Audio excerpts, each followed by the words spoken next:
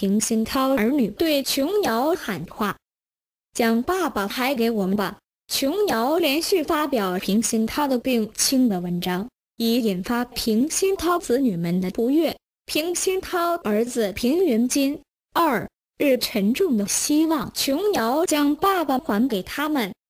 平云已于数年前接档父亲平鑫涛一手创立的皇冠出版社继续经营。平云认为琼瑶不能接受的是平鑫涛的失智。但平鑫涛并没有病危，所以三名子女并不放弃对父亲的治疗。平鑫涛和前妻的三名女子平莹、平衡及平云口径一致的要求琼瑶将父亲还给他们照顾。平云说，琼瑶曾在未通知三兄妹的情况下将平鑫涛转院，并于近日多篇维文。大幅诉说他自己是如何辛苦的照顾平鑫涛。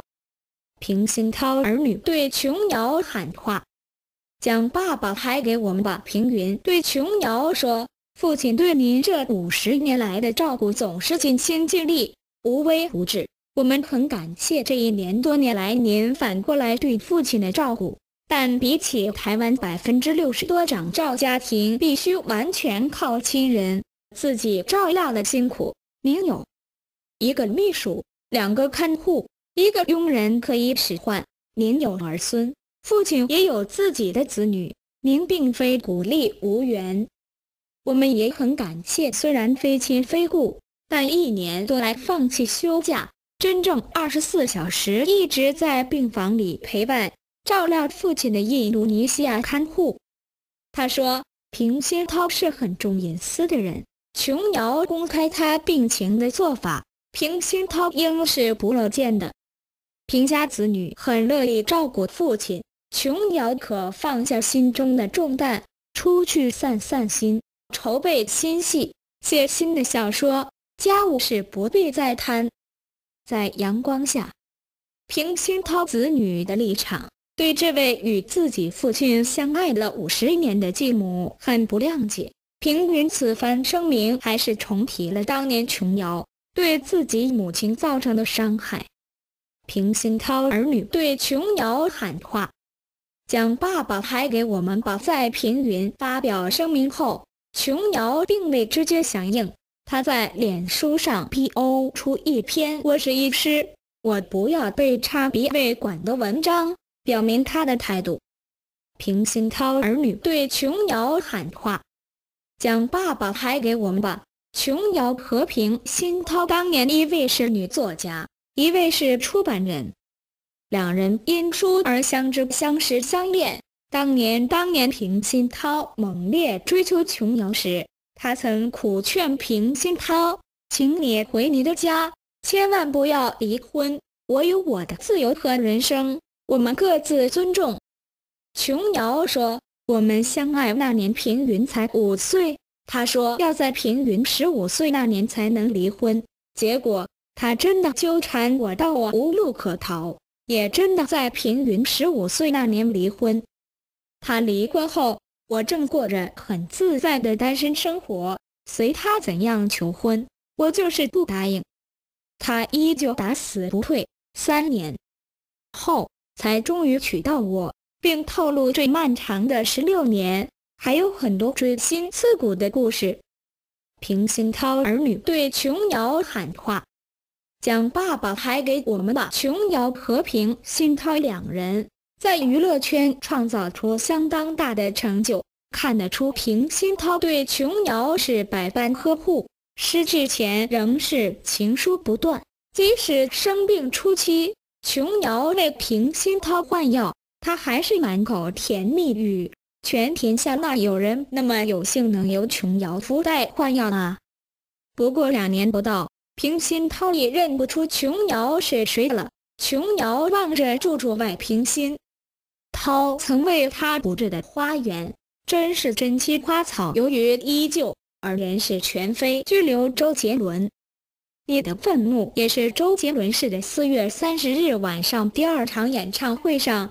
因为前排有歌迷的灯牌被现场安保人员扔掉，周杰伦情绪失控，现场怒吼安保人员滚出去，随后冷静下来，通过微博道歉。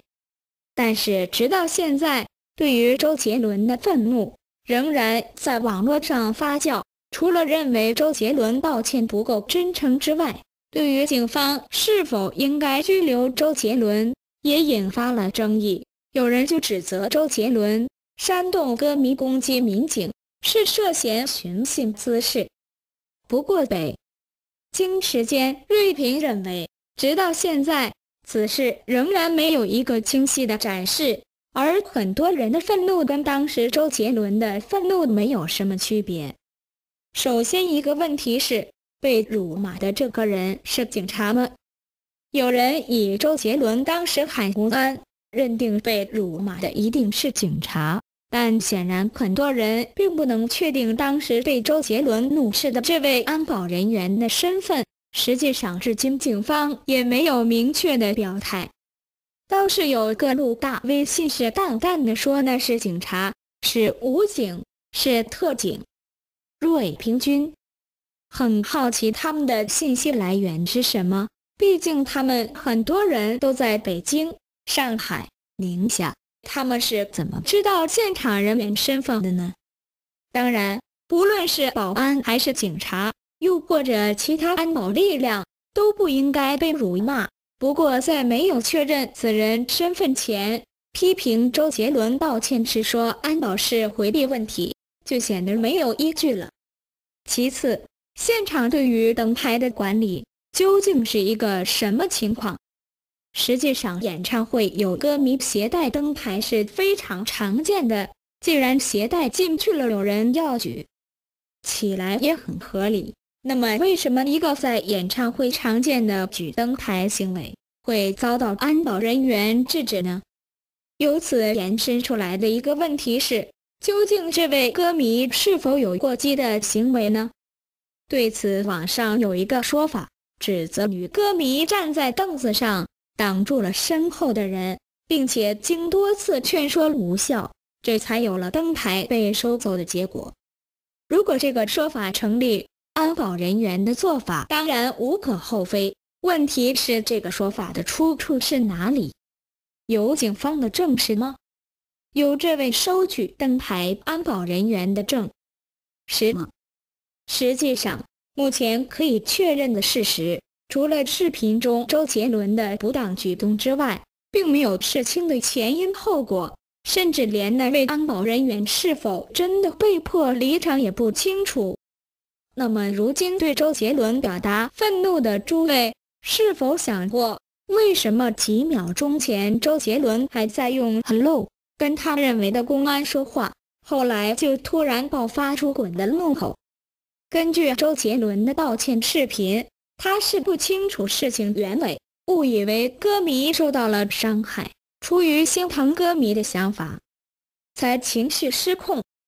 反观如今网络上怒气冲冲的网民，同样也不清楚事情原委，出于心疼民警的想法，才出来怒斥。这样的愤怒虽然是针对周杰伦的，但同样是周杰伦式的。而如果这些愤怒的人可以冷静下来，应该会明白，真正最了解情况的是西安当地警方。是否应该拘留周杰伦，也是由当地警方在经过考量后做出决定，而不是靠网民的心疼。当然，不论被骂者的身份是谁。也不论事情有什么原委，周杰伦用拱侮辱公安的做法本身是错误的，所以要求其诚恳道歉，本身也是应有之意。至于说现在的道歉是否诚恳，相信自有公论，瑞平君也就不做评价了。只不过瑞平君相信西安警方已经采取了足够专业、足够合理、足够有效的做法。此时用周杰伦式愤怒出来叫嚷，采取进一步措施，姑且不论是否现实，似乎也在给西安当地警方施加压力，将一件本来处理完毕的事件再生波折。这样真的算是心疼警方吗？不过瑞平君倒是支持那位被辱骂的安保人员，直接以个人身份向周杰伦维权，要求他当面道歉并赔偿。毕竟挨骂的是这位安保人员，而抱歉则没有针对他个人说什么。至于周杰伦本人，以后可能很多人都不会听他的歌了，不管他在抱歉多少次。